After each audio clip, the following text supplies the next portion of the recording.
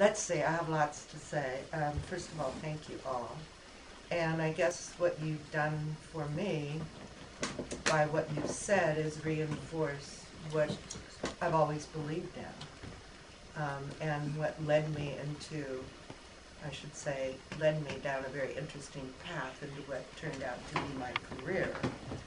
And so much of what you've said tonight just reinforces over and over and over what I always believed in.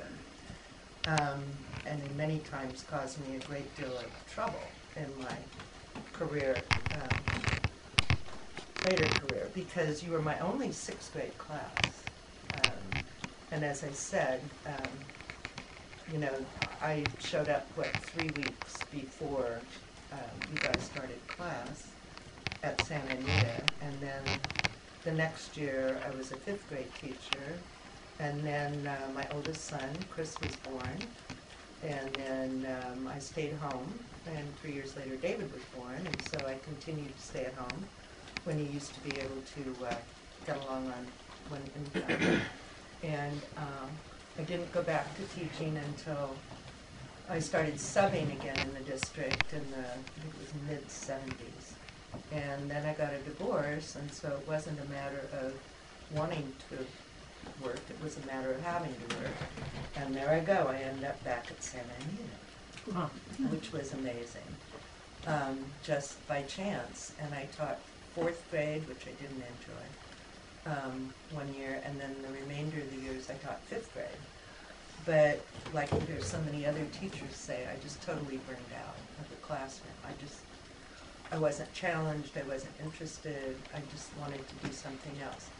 And I also saw teachers around me that weren't doing their jobs.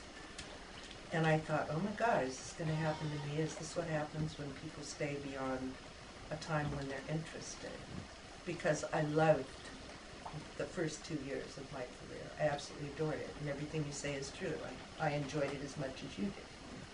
But also, one thing I'll interject is that you were from a culture and a society that no longer exists.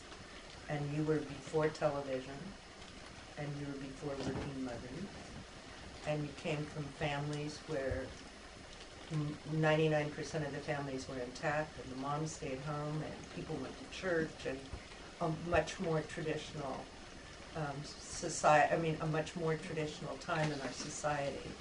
And you benefit from that, and what you've said tonight reflects that, your love of your family, you know, and how important friends are to you. I mean, talk to a generation, this generation, and see if they would come up with those same things. I doubt it. Not many of them anyway.